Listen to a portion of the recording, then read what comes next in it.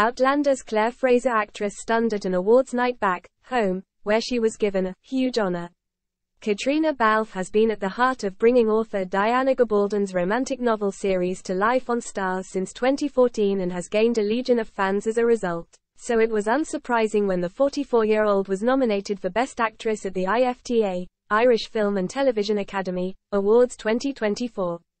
Going up against the likes of Niamh Algar, Elva Trill and Sharon Horgan, Balfe had some stiff competition on the night of the glamorous event held at Dublin Royal Convention Centre. While Outlander's leading lady lost to Kin's Clare Dunne on the night, she certainly made an impression prior to the ceremony on the red carpet.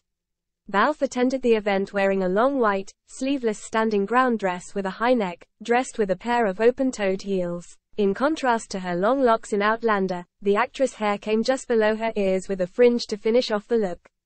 Sharing a picture of herself on Instagram, Balfe wrote, So thrilled to have been at the IFTA Academy Awards last night in Dublin. So great to get home and celebrate Irish film and television which is thriving right now.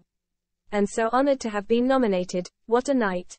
Some of Balfe's 2 million followers couldn't help but show their support for the star with thousands liking her post and others posting comments. One fan wrote, It looked like a great evening, you look truly stunning, with a second commenting, Gorgeous. So nice you got to be home with your mum and your family and friends. Another said, This looks phenomenal from head to toe. While someone else added, Absolutely stunning, you're timeless. Balfe may not have won on the night, but Outlander fans cannot wait for the Starz drama to make a comeback. Season 7 made its debut in early 2023 but hasn't been seen since and won't be returning until sometime in November. News also came out in 2023 that Outlander would be returning for Series 8, However, the announcement was bittersweet as it was revealed this would be its final outing. Filming for season 8 in Scotland is now reportedly underway.